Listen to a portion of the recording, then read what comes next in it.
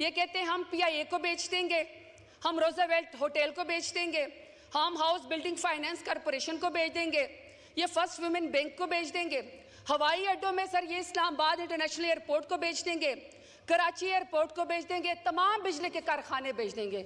Sir जी, sir, सब कुछ बेचना ही है तो इसे को भी बेच दें। इसको भी आउटसोर्स कर दें। पहले भी 20-20 करोड़ में यहाँ पे बोलिया जो है, वो बकरा मंडी लगा के रिजीम चेंज करा के जमीर फरोशी करके पूरे अवान को तो वैसे ही बेच दिया था। शायरों को शेर पढ़ने से पाबंद सलादत करने से जो है वो हुकूमत नहीं चली। जो शख्स एहराम ओढ़ के हज के लिए जाता हो, सर, उस शख्स को, इमरान रियाज को फ़्लाइट से उतारने से भी आपकी हुकूमत नहीं चलेगी। हुकूमत, सर, हुकूमत जीरे ब्लेडों के ज़रिए भी नहीं चलनी है। इमरान खान के लिए आवाज़ उठाते रहेंगे सबसे बड़ा उम्मत मुस्लिम का लीडर है पाकिस्तान का लीडर है। Sir I am sorry to say लफ्ज तो बड़ा सख्त है लेकिन खुसरों का लिबास पहनने से भी हुकूमत नहीं चलनी है। एक ही लीडर है इमरान खान उसका नाम है उसको लेकर आए उससे माफ़ी मांगे इंशाल्लाह ये हुकूमत भी चलेगी ये मुल्क भी चलेगा। ये अभी जो लफ्ज बोले गए इसमें से एक लफ्ज के ये अवान बेचते हैं ये अवान जो है मुकद्दस है तो उसको हम एक्सपंज करते हैं। साउथ पंजाब से मेरा ताल्लुक है सर साउथ पंजाब से मेरा ताल्लुक है। सर मैं महरूम तबके को रिप्रेजेंट करती हूँ। सर उन्नीस सौ सैंतालीस से लेकर अब तक हमारे सराय की वसेब के लोग अपनी बका की जंग लड़ रहे हैं। सराय की सुबह मांग रहे हैं। आप तो तख्त लाहौर को सब कुछ दे देते हैं सर सर दो ही पॉइंट है। तख्त लाहौर को सब कुछ दे देते हैं। लेकिन सर मेरे सराय की वसेब में कोई चीज़ से वाय महरूम में और कुछ नहीं है। सर पिछली दफ़ा हम लोगों ने साउथ सेक्रेटरीट हमारी हुकूमत में प्राइम मिनिस्टर इमरान खान ने बनाया इनके लिए। सर, उसको पीपल्स पार्टी ने भी सपोर्ट किया। उसमें सर, हम लोगों ने पहली दफ़ा साउथ पंजाब के लिए हमने 360 बिलियन का बजट रखा और हमने इसको रिंग फेंस किया।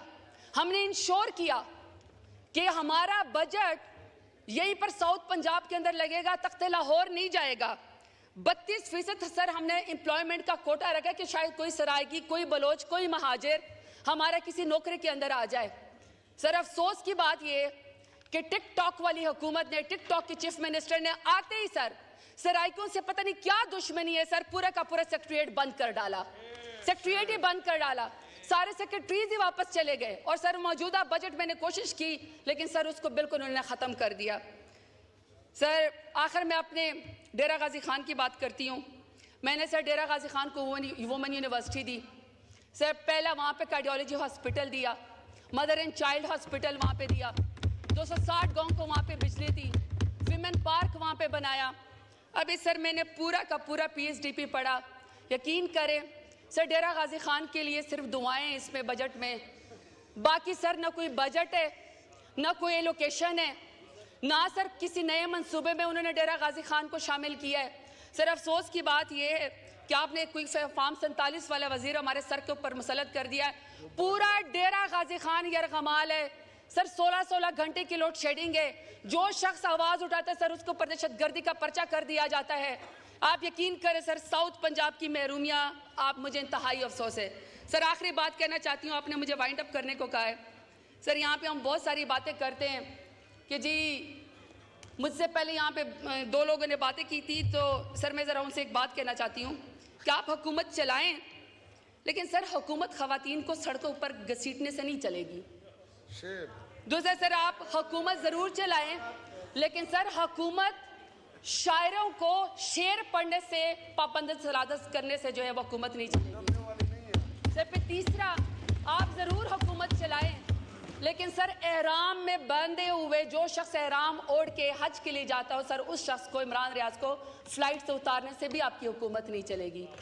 सर तीसरी बात सर आप हुकूमत ज़रूर चलाएँ। आप वीपीएन के ज़रिए आके उसमें सोशल मीडिया पे हमें आप दहशत गर्द हैं। लेकिन सर हुकूमत सर हुकूमत जीरे ब्लेडों के ज़रिए भी नहीं चलनी है। क्या आप कहें कि पाकिस्तान तहरीक इंसाफ का इंफॉर्मेशन सेक्रेटरी बाहर जाएगा तो आप सर जीरे ब्लेड के ज़रिए उसको गला कटवाएँगे, हमारी आवाज़ दबाएँगे। सर, हम इमरान खान के लिए आवाज़ उठाते रहेंगे। सबसे बड़ा उम्मत मुस्लिम का लीडर है, पाकिस्तान का लीडर है। जो शख्स बार बार कहती हूँ सर, जो शख्स रियासत की कैद में कह दे कि मुझे डरा हुआ देखना तुम्हारा ख्वाब रह जाएगा। ऐसा शख्स नाकाबले शिकस्त होता है, वो पाकिस्तान को लीड कर सकता है। Sir I am sorry to say लफ्ज तो बड़ा सख्त है। लेकिन खुसरों का लिबास पहनने से भी हुकूमत नहीं चलनी है। शुक्रिया। शुक्रिया। शु, शुक्रिया। बस। तकरीबन माइक आखिरी माइक बात, सोलह मिनट हो गए हैं। माइक आखिरी बात सर। माइक आखिरी बात।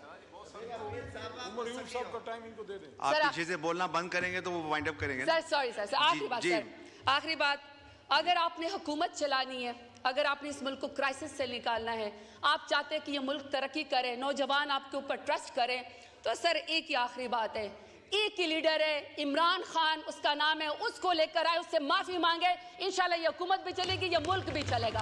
बहुत शुक्रिया। ये ये अभी जो लफ्ज़ बोले गए, इसमें से एक लफ्ज़ के ये अवान बेचते हैं। ये अवान जो है मुकदस है तो उसको हम एक्सपंज करते हैं।